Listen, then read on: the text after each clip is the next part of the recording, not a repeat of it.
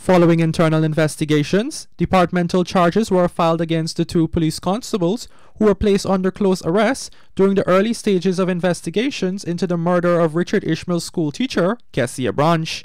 This is according to a release issued by the Guyana Police Force on Thursday, which detailed that the two ranks were found in breach of the Police Discipline Act.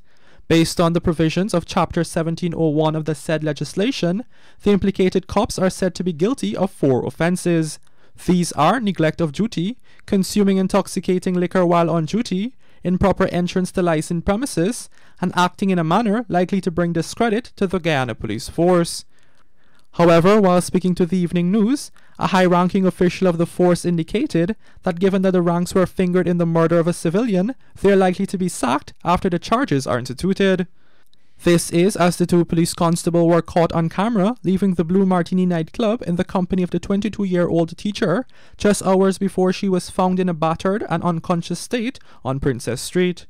Moreover, the three were shortly after sighted at a popular food outlet on Mandela Avenue, from which one of the cops claimed that the now dead woman had left in a taxi. Branche succumbed to injuries while receiving medical attention at the Georgetown Public Hospital days later. As such, the implicated duo, along with two other ranks of the Guyana Police Force, were taken into custody, but they were later released.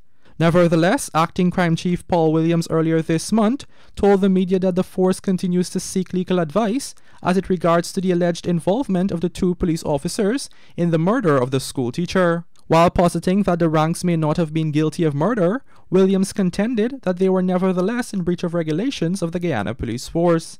It was then that he assured that actions will be taken based on the findings of investigations into the involvement of the two ranks. Reporting for the Evening News, Ashraf Dabi.